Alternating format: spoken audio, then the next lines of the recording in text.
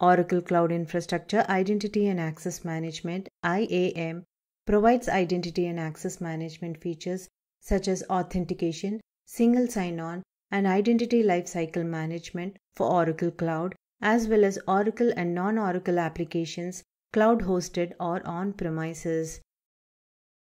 Identity domain administrators use the Oracle Cloud Console to create users in groups and manage security in the Oracle Enterprise Performance Management Cloud.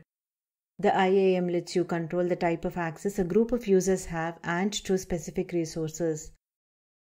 All EPM services other than the Enterprise Data Management Cloud use a common set of four predefined functional roles to control access to the service environments Service Administrator, Power User, User, and Viewer. The Enterprise Data Management business process includes two predefined roles Service Administrator and User. The predefined roles include different privileges depending on the business process. For example, the power user role in planning enables you to manage business rule security and control the approval process, while the same role in tax reporting enables you to run tax automation and import data. Predefined roles are hierarchical.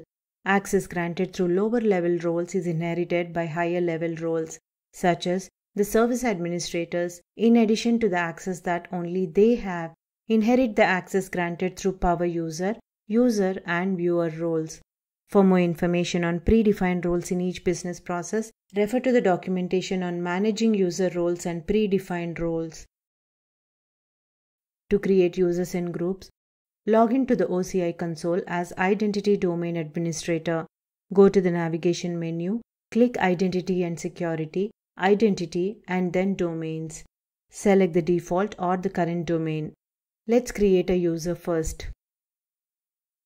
On the default domain, go to Users and click Create User.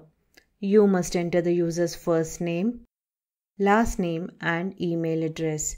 If you want to specify a username different from the user's email address, clear the use email as username option and enter the desired username in the username field. For this demo, I'll use the default. In the group section, select each group that you want to assign to the user account. Click Create. You can edit the user information such as reset passwords or deactivate the account. Although you can assign roles to users directly, it's easier to manage role assignment when you assign roles to groups and then add users to those groups. In the Group section, click Assign Users to Group tab and select each group that you want to assign to the user account. You can also remove an assigned user account from the group. When you add a user, the system generates a password which the user must change the first time they log in. You can modify a user's information, reset passwords, or delete users by clicking the menu to the right of any entry in the users list. You can also import or export multiple users via a CSV file with the batch load feature. Click Import to open the Import Users dialog. Browse to select the CSV file with the user information. Then click Import. The system evaluates all users in the file. It also assigns a job ID to each file that's imported or exported for auditing purposes. If the job can be processed immediately, a dialog box appears with the job link for the import job. You will also receive an email to track the job status. Click the link to review the details and appear on the jobs page. A table appears with usernames, classification types, and the status of users that you have imported. Let's now create a group. A group is a collection of users who share a similar set of access privileges. On the Groups page, click Create Group. Enter a unique name and an optional description. Add existing users to the group to give them access to roles assigned at the group level. Then create the group. The new group is now listed in the default domain. You can modify group assignments or delete the group from the Actions menu. You can also import and export groups using a CSV file. Next, let's assign the group EPM users and all the users in this group to predefined EPM cloud service roles termed application roles here. Click Oracle Cloud Services and select a Cloud EPM service instance. Select Application Roles. select the role you want to assign the users to.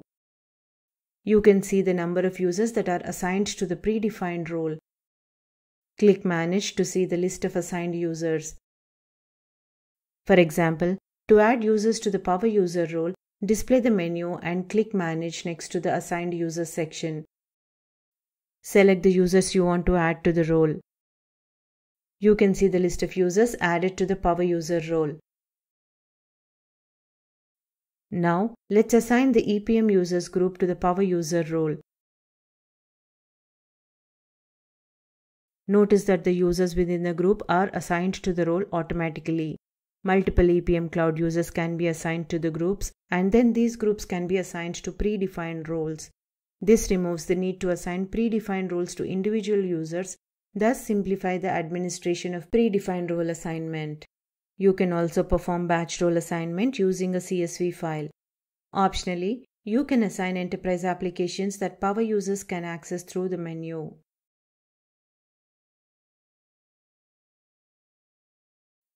To learn more, visit docs.oracle.com.